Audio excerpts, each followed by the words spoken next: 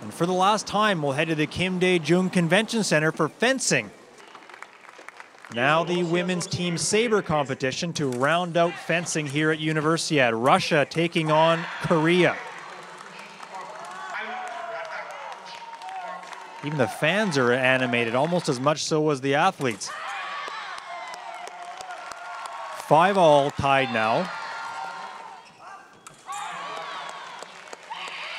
And again, you see that incredible passion on the face of these athletes and in their voices too.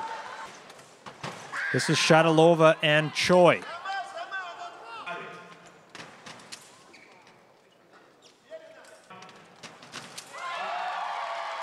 And in that case, both athletes thinking they'd scored. This is a rematch between Kim and Anna Bashta.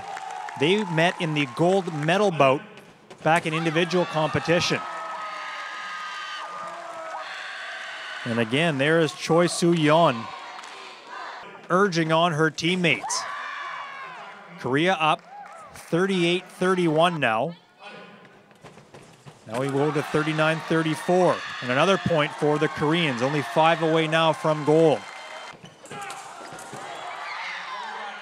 Final boat between Choi Shin Hui and Evgenia Karbolina.